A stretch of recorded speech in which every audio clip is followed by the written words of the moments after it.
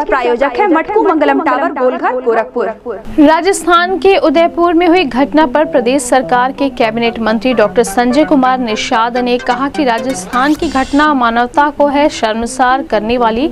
सरकार जल्द से जल्द जाँच करवाकर करवाए अपराधियों को फांसी की सजा।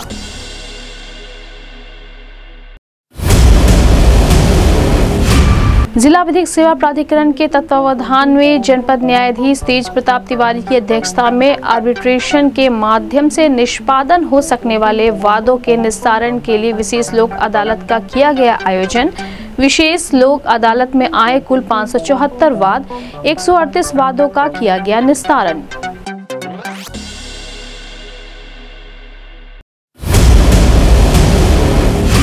दो स्टेशनों के बीच में ट्रेन होने से अब ट्रेनें नहीं होगी लेट। रेल की लाइनों पर रफ्तार के साथ ट्रेनों की भी बढ़ेगी क्षमता।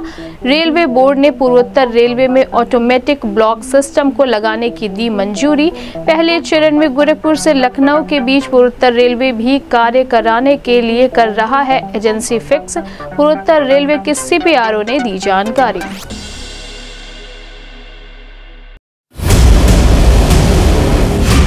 प्रधानमंत्री मत्स्य संपदा योजना मछुआ मत्स्य पालकों की प्रदेश सरकार के मत्स्य विभाग के कैबिनेट मंत्री डॉक्टर संजय कुमार निषाद की अध्यक्षता में विचार गोष्ठी का किया गया आयोजन। कहा, मत्स्य संपदा योजना से मछुआ समुदाय लोन लेकर मछली पालन कर बढ़ा सकता है अपनी आय।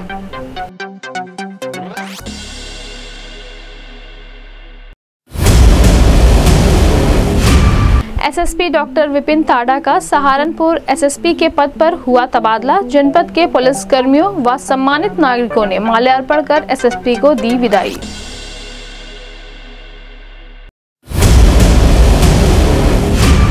सिंगल यूज़ प्लास्टिक मुक्त कैंपेन के अंतर्गत कचरा संग्रहणकर्ता स्वयं सेवी संस्थाओं, ग्रीन हीरोज के सम्मान समारोह का किया गया आयोजन।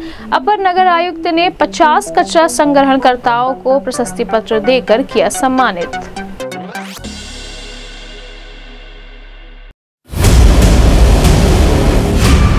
एसएसपी डॉक्टर विपिन ताड़ा ने बेनीगंज चौकी का जीर्णोद्वार कर फीता काट कर किया उद्घाटन। कहा, चौकी से आम जनमानस की समस्याओं को समाधान करने में होगी आसानी।